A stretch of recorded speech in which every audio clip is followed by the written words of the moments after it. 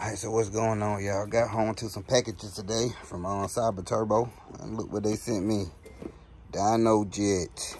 This is what everybody been telling me I need. So, hey, finally got one. So y'all know a video coming soon, you know. Gotta tell y'all what I think about it or whatever. I gotta figure out how to uh, get this thing hooked up.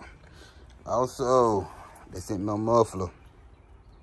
So, this is not like the muffler I had. It's a little bit different right here. I think this muffler here, it got a baffle in it. So I guess it's like a tunable muffler. You can adjust the sound however you want it. Let me show you. And you can see like this part of the muffler made different too.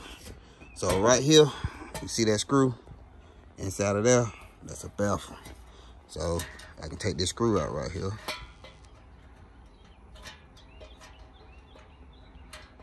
Y'all bear with me. Y'all know I'll be working with one hand.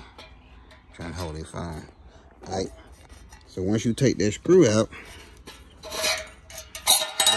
you can pull the baff out. So if I pull this out, I think they're gonna make the exhaust even more louder. Yeah, they're gonna make it louder if I pull that out.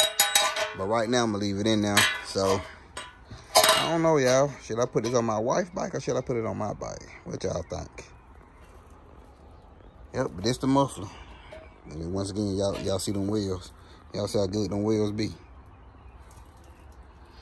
All right, so y'all just stay tuned for a full video of, you know, me doing my review of these two products. But into the meantime, I'm out, y'all.